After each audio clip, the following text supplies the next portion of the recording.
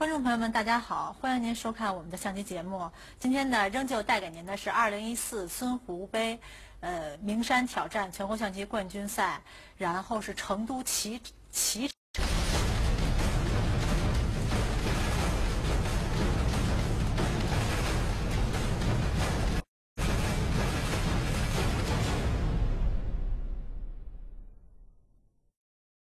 这次这个名山挑战赛能够在成都举办，我们感觉到非常的好。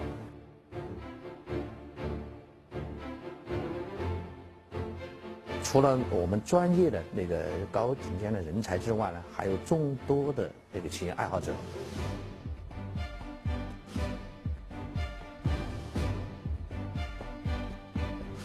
现在我宣布，二零一四年。孙湖杯决战名山全国象棋冠军挑战赛脐城成都站开赛。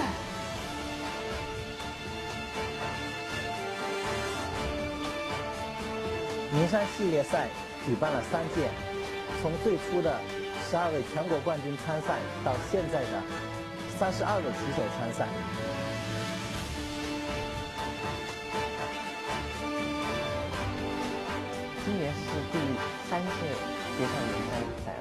我也是第一次有机会参加这样的比赛。以往这个比赛呢都是全国冠军赛参加，今年通过这个改制呢，让等级分靠前的很多棋手也有了这个参赛的资格。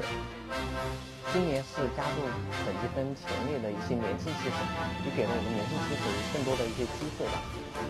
这次我也是在家乡作战。也希望能在这次比赛中冲击分站赛的冠军。第一名王天一，第二名王斌，第三名郑伟彤。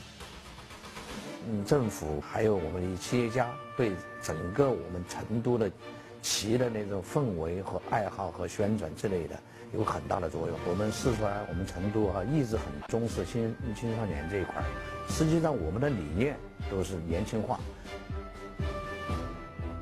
啊昨天呢，我们也到那个学校里面去参加了一个活动。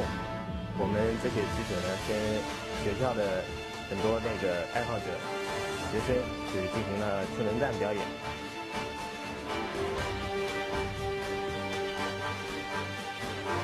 我觉得非常感谢学校给我们这样的机会，让我们可以接触到我们的偶像。我觉得对我很有帮助，让我有非常大的进步。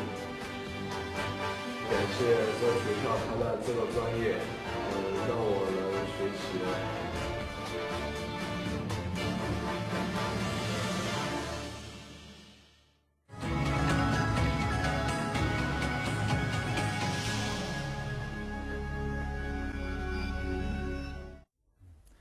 好，那这盘棋的。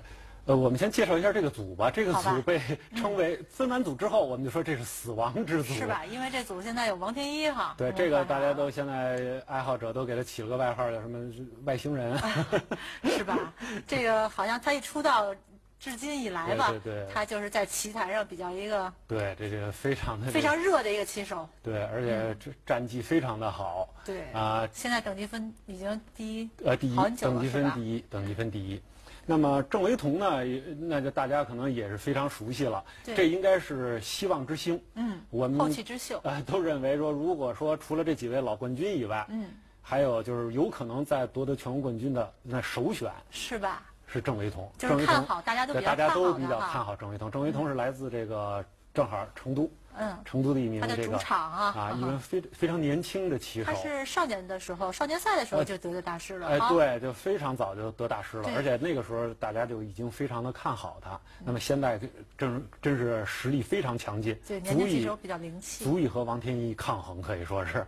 是吧？对。哦。那么。这盘棋呢？我们期待着这后起之秀对这个老棋手有一定的。这王天也不老。不是，就对这个，那他在棋上年头毕竟比他大，还是大一点。对我们画着引号的，这样看到这个年轻棋手对他们的冲击啊，棋局也越来越精彩。还有这盘棋的背景什么？我为什么说他足以抗衡呢？这盘棋的背景是俩人下了两盘慢棋都下和了。哦，是这样。还加赛了一盘快棋，还是和棋。呃，慢棋是三十对三十，快棋是十分钟，是吧？对，还是和棋。嗯。那么可以说是慢棋快棋全面的较量。那这盘棋已经到了超快棋了。哦，所以这那就有偶然性了，就偶然性很大了，就是甚至说有可能呃谁赢都很正常了。啊。那么就在这个背景下，两位棋手也很紧张了，展开了一个非常精彩和激烈的对抗。我们的超快棋规则是好像是红棋六分钟，黑棋四分钟，对然后后手和棋算黑胜，算算他晋级也不能算黑胜吧，啊算他晋级了，算晋级那等等于就是输了嘛。那么王天一这盘棋呢，也是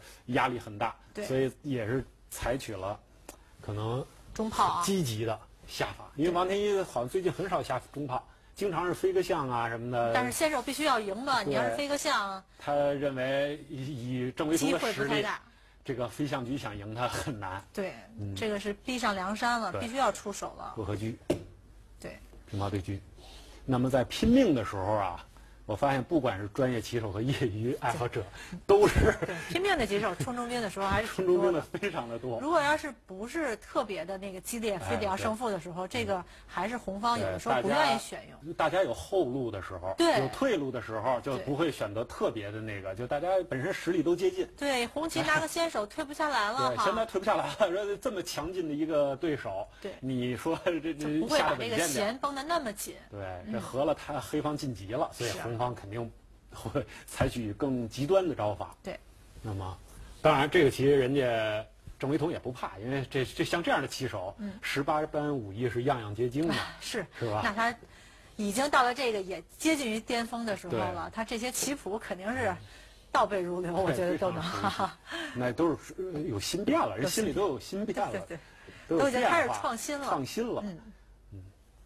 马三进五，卒七进一，这也是我们非常常见的啊。对。那个激进中兵的一个对套办。下到这儿呢，现在这个是一个非常流行的一个局面对，啊。那么比较常见的是车八黑进八方，哎，对，车八进八是非常常见，就准备弃马对，抢攻。那么红方跳下来之后呢，黑方是依然向三九，下三进五，弃马。哎，弃马，我们给大家摆摆啊。哎，呃，呃对，可以踩掉是，吃掉以后呢，这是车一平三，一捉，嗯嗯，踩掉，嗯，下到这儿和黑方那个选择比较多了，常见的是卒三进一，卒三进一，嗯，但是卒三进一的结果好像最近一段红方战绩还不错吧？是吧？最早啊是马七进八，是吧？呃，对，马七进八那个红的也还可以，但后来呢，就是呃车三平四也是一种选择嗯，车三平四选择也是比较复杂的啊，但总的来说，这个棋双方对攻，红方也没有绝对把握。对，因为这期黑方七路线还是有一定的反击、啊嗯但是呢，，可能红的胜率偏高或怎么着，也许郑维彤呢，就是也是想出其不意吧。嗯。临场呢没有选择这个，他觉得这个下的太多太熟了，啊或者是他怕王天一有准备啊。对，像这么熟的布局，肯定是有家庭作业的。对，因为、而且就四分钟四分钟，呃，这样，这样，像像像这种棋肯定是有家庭作业的。如果呃任何一方能给对方摆上家庭作业，那这棋没法下估。计对到了那儿直接就超时了。对好，要中了套。所以这个棋当然了，它呃变化也是它也是有它自己的一个这个研究成果的。对，那么他选择了一个较为老式的我想这个赵维彤也是做过家庭作业的啊，是吧？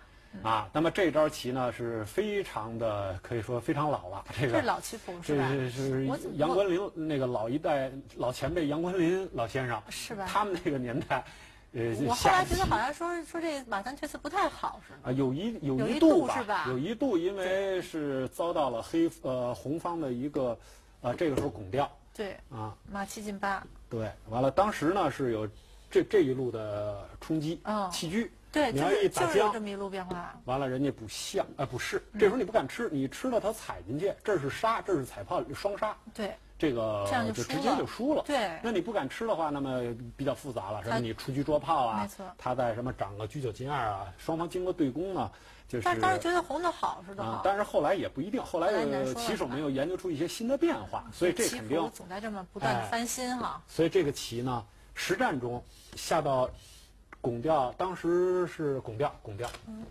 拱掉，黑方也是踩了。那么这个棋有几个变化，嗯。一个呢就是最早是车四平三，居四平三感觉上呃，好。车四平三是遭到了对方的他炮二平七打炮二平了，七一打，这个当然了，红方也有很强硬的手段，嗯。嗯，那么黑方呢也跳出来，马四进三，对，跳出来先不打，对他打不了，对，这样呢，如果呃曾经出现过这个变化，嗯，他就打了。让他跳，对，跳，一将一出，嗯，他一抬炮，炮头将，对，他准备叫杀，啊不是，啊不是该这个什么了，该黑，该红的，哎，这个棋是打一将，啊，这儿该黑的，那他没打呢，这样，没没啊，他打了他跳将吗？跳将过将出来，嗯，这时候带炮啊，带炮，完了他有一个巧招，马八跳六是吧哎，？因为马上正好你将不了，将他劈点儿劈点马跳上来 是给吧？你给这老挡着你，最后啊他还有这种骚扰什么的啊，所以这个棋好像是杨国林老先生和刘殿中对我们有兴趣的棋迷朋友可以去去查一下，网上查一下，啊能查到这个布局，非常精彩。嗯，那么，但是这个棋后来呢，就是红方出现了这个手段，哎，就是当时认为红的好了，但现在已就是有一些新的变化了。嗯。那么实战中，王天一走了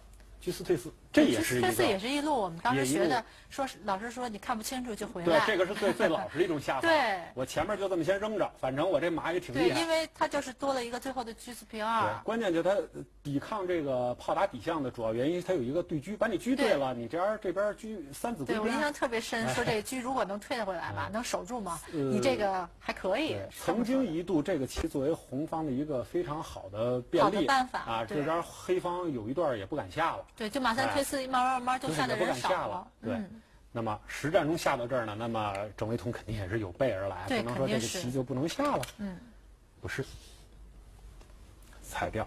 呃，曾经还有过这个下法，但这个下法有有点儿肯定不如踩掉积哎极。消极了啊，踩掉积极。对车，这是必然的。嗯，不对就不行了，吃了，对掉，杀掉了。。我们想象的出来，这棋手这前几步噼里啪啦的有多快啊！对，平炮，嗯，一挡这样只有跳，跳，嗯，非常积极这招棋，这样先限制你的这个车的活动，对，这样只有退炮了因。为你你要不跳，它倒是出来了，车一平二出来，你跳不进去了，这个是先手，先退炮，挡住，这样具有将，对，车就这都是棋谱。啊，这个一般可能棋手会想，我马八进七不完了吗？但是从这个车的作用来说，哦，它车九进二之后，它在这条线横线上，对三线上，而且它从灵活度来说，要比这低车要快。哦这个马看上去是马慢一点哈。这马慢了，但是无所谓。现在红方并不指望这个马，对红方指望的是前面这个对前面这子。儿已经能骚扰就已经很好了。对，这位置这几个子儿的位置啊，马炮兵的位置非常好对，了。所以棋进中间有这个特点，对有点偏着上，拧对着上哈。所以这个棋呢，现在车九进二呢，就是非常的这个积极。嗯，这军片样黑棋车说片，平车看上。需要加上顶，对这些都是必然要走的。对，嗯。那么下到这儿呢，红方冲兵。哎，这样就开始短兵相接了啊。这一冲兵你不敢拱啊，你一拱啊，他现在他不，他现在没有闪将，但是他可以先闪这个将，然后就能闪将了。然后闪将你击丢了。是，然后就能闪将，所以这个是肯定不能所以拱这不能的啊。那么，但是在这个局面下，就是可以说是双方是一个对攻很复杂的局面了。，对，是一个分切点了。呃，黑方也是不能掉以轻心了。嗯。那么这个棋我们可以先让大家看一看。对啊，我们稍后回来看看黑棋在左翼对红棋有什么样的骚扰。好。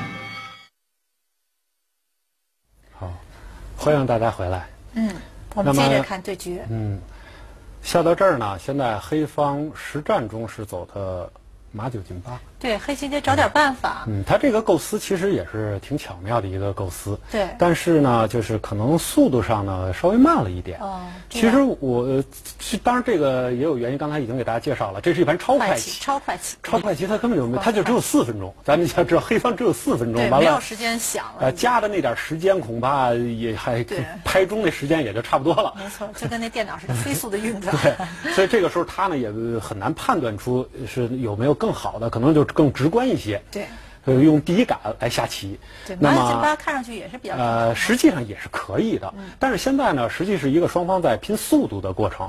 那么这个棋，黑方实际可以考虑卒棋进一下卒是吧？啊，就是这边啊就不管了，我这车啊就死顶了。嗯完了这边全都指望的这个炮炮马卒哈，呃双炮马卒的一个攻击，嗯因为这边还是挺空虚的。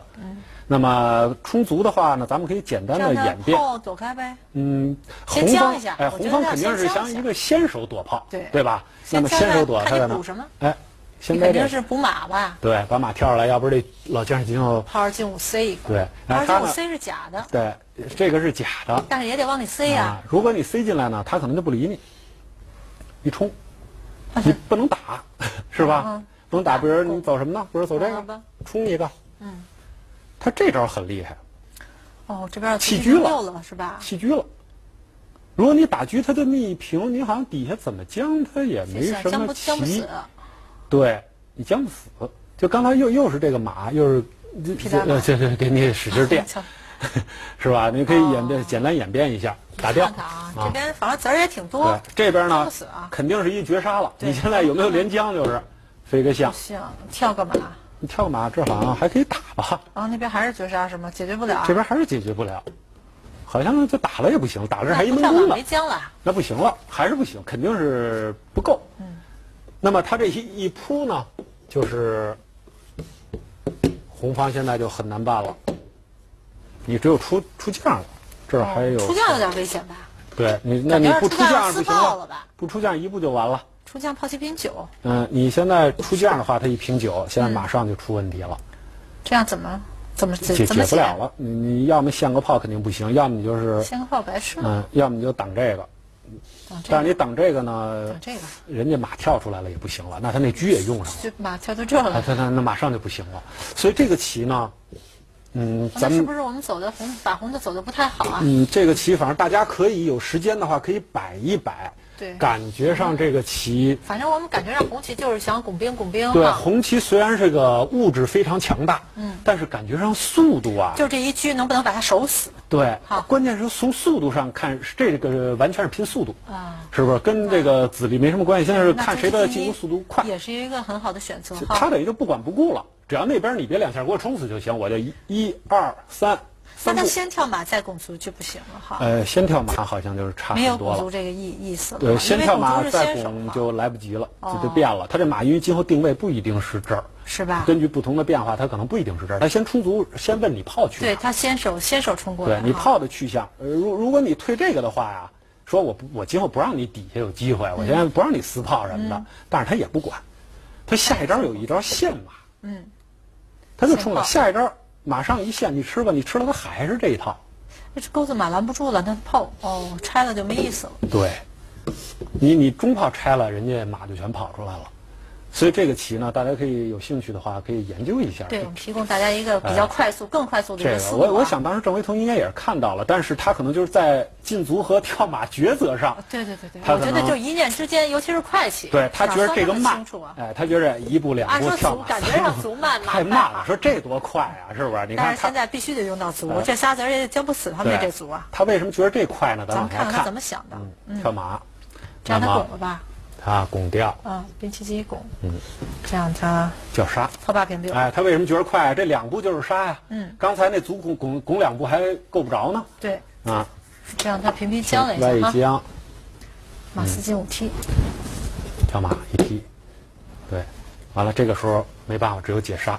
哎，那么下到这儿呢，又是一个很关键的时候。哦，这个棋呢，吃士吗呃，吃士是实战下法，嗯，但实际上这个棋可能当时应该先拱一下这炮，哦，把这黑红炮位给拱差。看他往哪儿平的问题对哈，，这一拱红方啊也是很难受。为什么？他呢，如果平边儿，先说如果平边儿，那么这个炮你看没有？挡住了。啊，对，啊这有个卒，基本上这炮暂时在这个区域是不会发生太大作用。对，就是他过不去，没有哎骚扰了，但如果说我我想发挥作用，但是呢，他可能人家交换，啊，对，这样剑锋一转，交换掉。这样，如果你打呢，他黑马跳出来了。哦，那就中间没威胁了，狙这样也活了。黑马一跳出来，人家这个车再一活的话，你虽然那物质很强，但是你这儿也是这马太快了，呃马太快了，而且车也快，将将位都不对好，。车也快啊，卒也快。这样的话，呃不一定红的会有好的这个理想的结果。那么当时可能也是忽略了这个次序吧。对，这个是很细。对，这时候应该拱一下。我估计他没看见马嗯，可能忽略了这个次序。啊，他以为可能差不多，而且他还是速度嘛，他觉得对足在这儿近呢，他在这儿他不，我也是觉得不愿意往外偏。但实际这时候应该是呃削弱一下红炮的作用。嗯那么裁掉，裁掉他是。不是觉得已经很好了？他觉得他这足离得近嘛，对足他当然他当时也没有看到特别好的攻击手段，但是他毕竟足在这儿，还是你现在再拱就来不及了，现在再拱人家就往里收了，对，对吧？但是下到这儿呢，可能黑方顽强点儿是应该走这个，炮七退一。对，准备到这儿将了。哦，给马腾地儿是吧？你到这儿将你不能出这边啊，你出这儿他一将一将把车吃了，那他到这儿将你只有退，你退的时候他一平炮这叫叫杀呀。那他是不是把炮抬起哎，来了？他肯定要抬炮了，比是要打狙啊什么的，你将他再退，他再平，你再直视，嗯啊，可能就机会多一点吧，黑方纠缠的机会多，一些。就是说我们说这个马马炮这边组合的形状很多哈，对对方式方法手段很多，哎他的思路就是准备这么将你，对，这个这两边都不能跑，你只有退，你退他一平炮，这叫杀。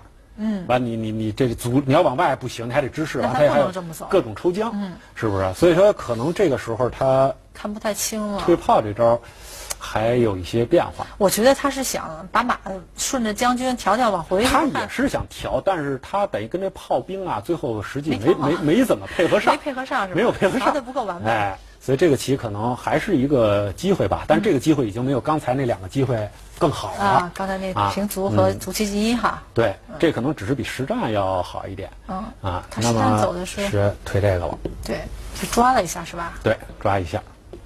嗯，他想的也是，其实他也还是想调这马来将军，但是这样其实也挺慢的，对对，也是慢。是吧？嗯，这样他可能也当时时间紧张了，估计是没有找到好的这个战术手段。人家现在闪车，零四，红车已经可以发挥作用了。对啊，这边的对棋子不太，这车在这边，这边棋子不太好组合了，对，这一抓炮现在是有点难办了。怎么办啊？嗯，只有逃了。我逃到炮八进四了，这我打哈，对，那么这样等于这个最后的这黑棋的这些子儿还是没有组合起来，呃，它就是配合起来没有刚才我说的那几种可能更有协调性。对，而且速度快，趁他车还动不了，现在人家车守住内道了。现在等于人家的这个这道墙壁啊发挥作用了，而且把车闪身出来了，而且这个现在他车闪出来不要紧，他还闪出了炮五平八的还闪出一条路来哈啊！你在你没有这等于你看你这运了半天，这卒还在这儿。对，现在让你走，我觉得都不不太好，不太好看他组合对。他现在想的可能就是中间五一将，完了我能不能把马赶紧跳出来啊？他可能是想这些了。但是他现在因为炮被轰出来了，这马也不太敢往外跑，因为这就是啊老有这个不是这这炮平八就很难受啊。实战就是打了一下，哦，实战打了一下这怎么实战打？了一下，他现在没办法，先也先将一下，也是是硬手，看你去哪儿，嗯，看你去哪儿。那么这个时候他是出帅，这怎么办啊？红方车还得跑啊，好像只只有跑了，只有跑了，这样不太好弄了，我都觉得。对，完了，又来了。有你看他出帅，就王天一的防守啊，非常的稳健。他要如果退的话，他都不敢停我。觉得王天一就善于下这个快棋啊，噼里啪啦的这的，反应也快，这帅平这位手也置，快，一手就把你看干净了。你现在基本上你将不着他了，是吧？基本就你刚才要退的话，恐怕还没那么干净。人家还有各种的蹦将什么的。就是因为你跑跑不过来嘛。对他这一招就给你封住了，而且最后对这将门还有一定的作用。对，而且炮二平五腾腾挪了，炮二平五，这下的挺好，就是那么这这这这这只有出出将了，出将，这只有出将了，没有就办法。将了吧，就快将。对是哪个将？将炮我们啊不，先炮炮五级下一招准备将军了。他得顶一个，那么跳马，劈炮。红方炮二平六，跑到平六。嗯，呃，黑方不管怎么说吧，做不杀，终于可以做个杀了。但是不行了，但是来不及了太厉害了哈。对，来不及了。炮六进二，嗯，挡住。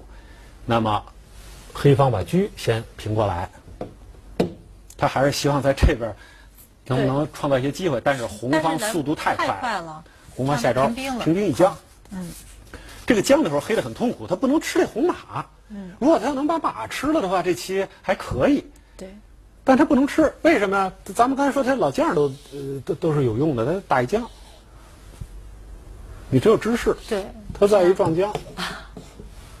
这样僵死了。你你进将的话，他对，金将都是双炮一将，你出来这个吃士也好，冲下去也好，这个棋马上就输了。对，这肯定不行。嗯，所以这个棋呢，王天一平兵一将，没有办法。马四加再平一平，啊，那再平一将，你这 这马只有送到嘴里来了。那不行，对，这样关键是吃完之后还是杀，对，这个黑的非常的痛苦了，那就还走了。还得还得进去。哦，这又跳了吧？又跳。主要是黑的没杀，这个棋有杀对无杀了。看的子儿挺多，但是呢，红的这子儿站位正好把它卡住了，对把它的攻击路线卡住。嗯，子儿这么多都没有什么机会。那么现在下到这儿呢，黑方也是是用手，将军、看看能不能偷到啊！哎下快棋有漏洞啊，看看能不能偷到。退马一将。现在呢，人家非常稳健，就不理了，退这样套八进一，再将，将几下看看哈。再上马五退三。完了你再将，他就顶着这这这字儿子儿马用上了 全最最后终于用上了，一直没动。对，但这时候一动确实是后防无忧了。嗯，一顶后防无忧。那么这个时候呢，黑方可能又又反复的将了几步，嗯，将了几步，然后过车。这不将死了？对，过车呢也没有办法了。嗯，红方跳马一将，对，这样他出将，然后兵六平七了吧？兵六平七。得子了。对，他这就就等于顽强一步吧。对，完了，兵七进一，张俊负了。一吃。到这儿呢，这个郑惟桐呢就放弃这个抵抗了。嗯。啊，我感觉这盘棋呢，就两位棋手都下的非常积极主动。对。但是对于郑惟桐来说，感觉比较可惜。对因为在这个是这一这边的一些变化中呢，他可能有一些小失误。但毕竟是快棋嘛，对这棋手也不是神啊，他对，所以说这个可能家庭作业可以继续再丰富一下。对，下回再来啊。对这个变化，等于马三退四这个变化呢，可能现在有了新的认识，棋手们也开始在运用。对，也许过两天这个又风风流流行一时是吧？对，也有可能，因为现在的棋手可能借助一些先进的技术，电脑包哎，还有一个我们的理论也在不断的提升。对，所以呢，这样的过去被否认的一些布局变化，或者甚至一些理论都在变化。对，啊这个是他们这站赛的第二盘。对呃，郑惟桐在输的这盘棋虽虽然有点可惜 吧，因为下来毕竟是四局嘛。对对对对，但还是最终战胜了黄竹锋，对是吧？对挺进了这个最后的决，赛啊。获得了进入总决赛的资格。对，这样也给好像据说也给当时的这个骑乘成都嘛的棋迷呢有了一点安慰啊。是，那么王天一最后呢是最后一盘战胜了这个王斌王斌啊，王斌，所以这个组被称为死亡之组。对还这组还还有蒋川对，还有蒋川，蒋川被逃了是吧？对王斌是第二，以第二的身份进第二身份的是吧？啊，对。我们在这里呢也给大家预报一下啊，下一站是应该在武夷山山，呃，棋手分别是赵欣欣、吕钦、刘大华、汪洋、孟晨、陆伟涛，还有陈洪胜和赵伟。